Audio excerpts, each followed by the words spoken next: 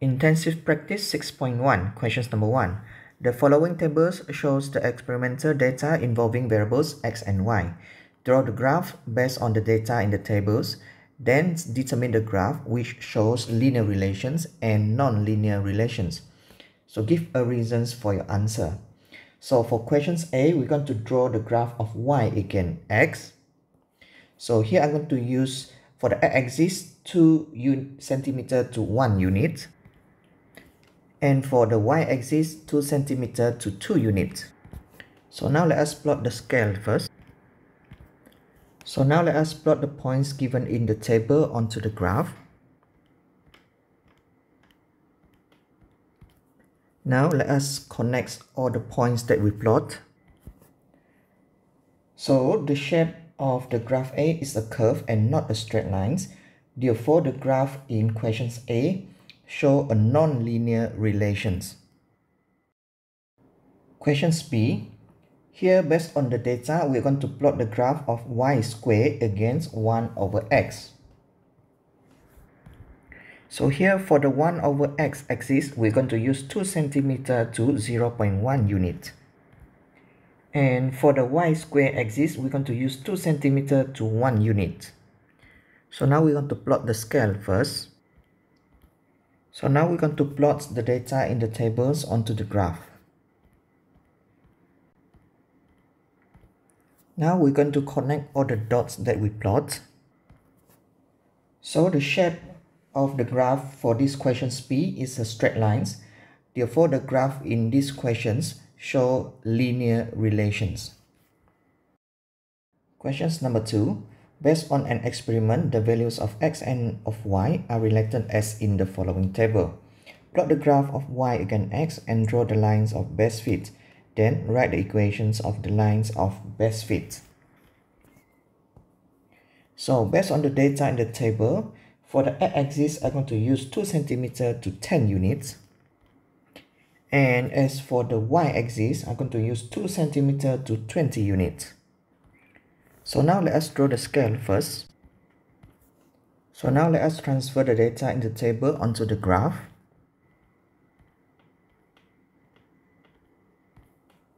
So now let us draw the lines of best fit. So this is how the graph of y against x look like. The graph that we plot here is a graph of straight lines. Therefore, this graph is a linear relations graph. So to write the equations of the lines of best fit, we're going to use y equal to mx plus c. So here we need to find the information of the m, which is the gradient, and c, which is the y-intercept. So based on the graph here, the y-intercept will equal to 104, which is referred to the c. And to find the gradient m, I'm going to choose two points that is on this straight line. So the first point that I'm going to choose will be the y-intercept. So the coordinate of the y-intercept will be, for the x is going to be 0 and the y is 104. Another point that I'm going to choose will be these points here. So the coordinate for this point will be the x 75 and for the y will be 120. So to find the m, we're going to use the formula y2 minus y1 over x2 minus x1. So here it will be 120 minus 104 divided by 75 minus 0. So the answer for the m is equal to 16 over 75. Therefore, the equations of the line of best fit will be y equal to 16 over 75x plus 104. Questions number 3. The following table shows the reading of two variables, log base 10 of x plus 1 and log base 10 of y. So A, plot the graph of log base 10 of y, again log base 10 of x plus 1 by using a scale of 2 cm to 0.1 unit on the log base 10 of x plus 1 axis and log base 10 of y axis. Hence, draw the lines of best fit. So let us draw the scale first. So now let us plot the data in the table onto the graph. So now let us draw the lines of best fit. So this is the graph of log base 10 of y against log base 10 of x plus 1. Questions B. From the graph, finds number 1, the gradient. So to find the gradient, we need to have two points that is on these straight lines.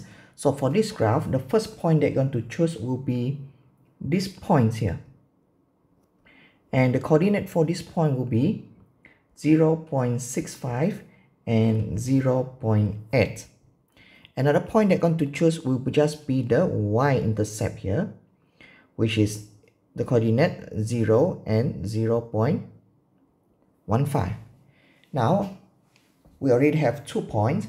To find the m, we're going to use the formula y2 minus y1 over x2 minus x1. So here it will be 0 0.8 minus 0 0.15 over 0 0.65 minus 0. So solve this, you'll find that the m gradient is equal to 1. Number 2, the log base 10 of y-intercepts. So from the gradient just now, we already find the value of the uh, y-intercept here. So the value will be equal to 0 0.15. Questions number 3. The value of x when log base 10 of y equal to 0 0.55. So based on the graph, the log base 10 of y equal to 0 0.55 will be here. So from here, we're going to draw a horizontal line until it intersects with the straight line that we plot. So from the intersection point here, we're going to draw a horizontal, a vertical straight line downward to the log base 10 of x plus 1. So from here, we'll find that when log base 10 of y equal to 0 0.55, the value of log base 10 of x plus 1 will equal to 0 0.4. So here we want to find the value of x. To solve this, I'm going to change these logarithmic forms into the index form. So you can refer to the notes here to change the logarithmic forms into the index form. So therefore, x plus 1 will equal to 10 to the power of 0 0.4. Therefore, x is equal to 10 to the power of 0 0.4 minus 1. So solve this using a calculator and we're going to take uh, up to 4 significance figure for the answer. So x is equal to 1.512. Question C. Calculate number 1 the value of y when x is equal to 2.5. So for this question C, it didn't state that it must come from the graph. Therefore, another method to find the value of y when x is equal to 2.5 is that we're going to find the equations of the straight lines of the graph that we plot. After we have the equations, we're going to substitute the value of x with 2.5 in order to find the value of y. Now, the graph that we plot is a straight line. To form the equations, we're going to use y equal to mx plus c. So the value of m and the value of c, we already find it in the questions B. So the m is equal to 1 and c is equal to 0 0.15. Now, based on the graph that we plot, the variables that is labeled at the y-axis will be the capital Y and the variable that we label at the axis will be the capital X. Therefore, the equations of this straight line will be log base 10 of y equal to 1. So the m is equal to 1, so we just uh, we're not going to write the number 1. So just write log base 10 of x plus 1 plus 0 0.15. Now, to find the value of y when x equal to 2.5, we're going to substitute the x here with 2.5. Therefore, log base 10 of y will equal to log base 10 of 2.5 plus 1 plus 0 0.15. So using your calculator, you're going to find the log base 10 of 3.5 plus 0 0.55. The answer will be 0 0.6941. Now, to find the value of y, we're going to change these logarithm forms into the index forms. Therefore, y is equal to 10 to the power of 0 0.6941. Solve this using a calculator, you find that the y is equal to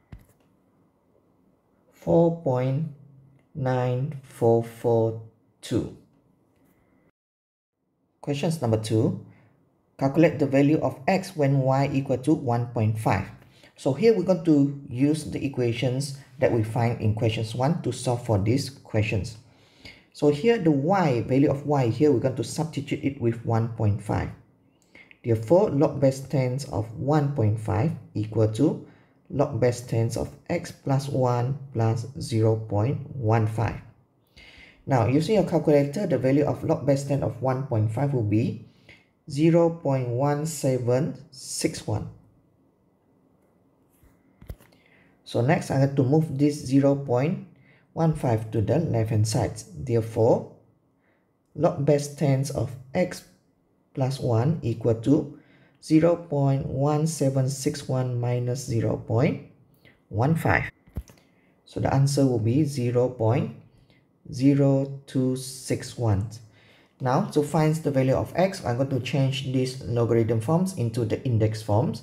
Therefore, x plus 1 is equal to 10 to the power of 0 0.0261.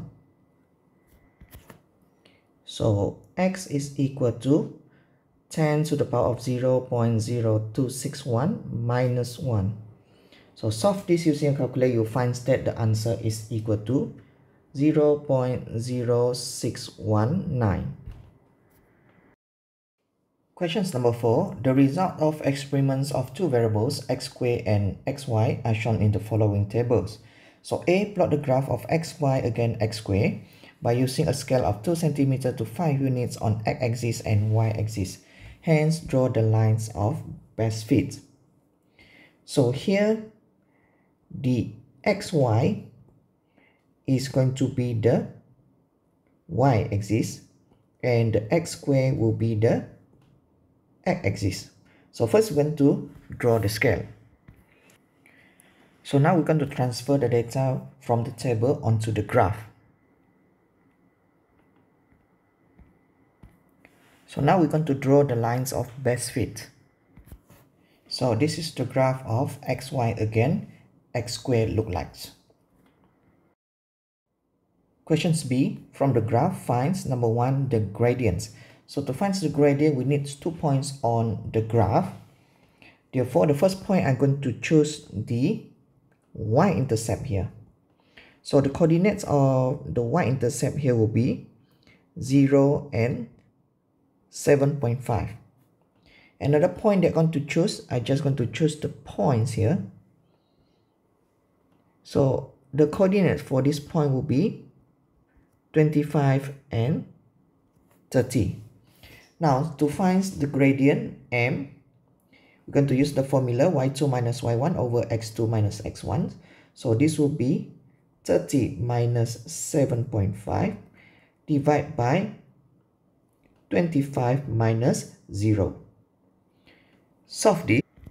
The answer will be 9 over 10.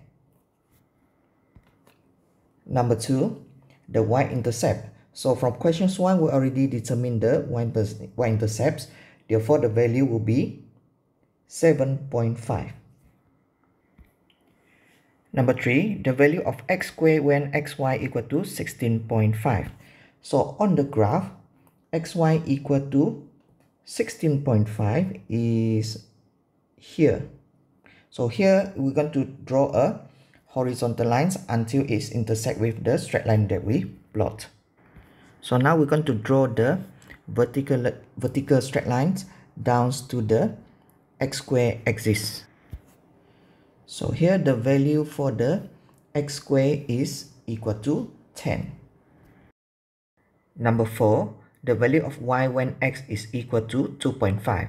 So when you want to find the x 2 point, equal to 2.5 from the graph, as the axis here is the x square, therefore the value of x 2.5 we have to square it as well.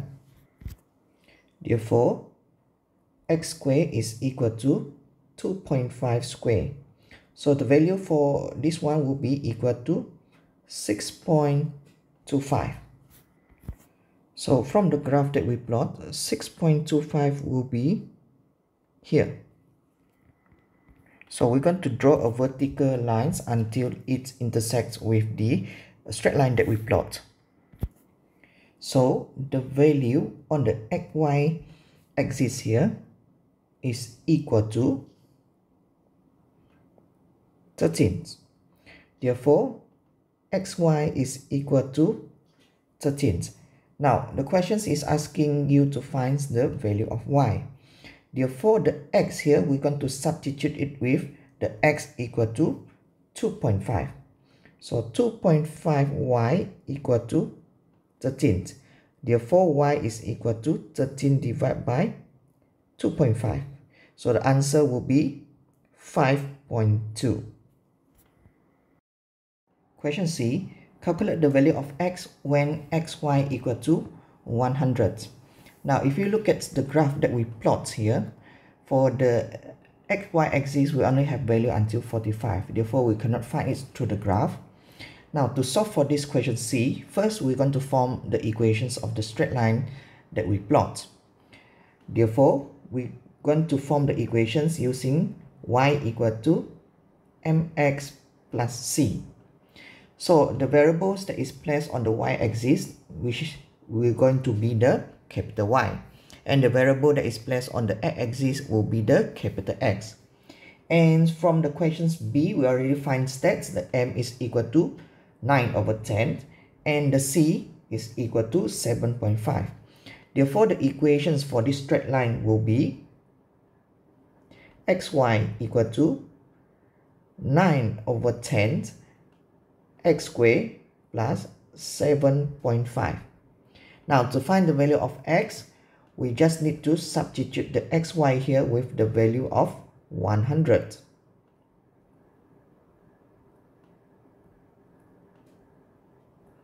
So next, I'm going to move this 7.5 to the left hand side. So 100 minus 7.5 is equal to 92.5. So next, I'm going to move this 9 over 10 to the left hand side. So it's going to be 92.5 divided by 9 over 10 or divided by 0 0.9. Therefore, x squared is equal to 925 over 9. To find the value of x, we're going to move the x to the, uh, the square to the right hand side. It will be the square root. So, so the answer of the square root of 925 over 9 is equal to 10.14.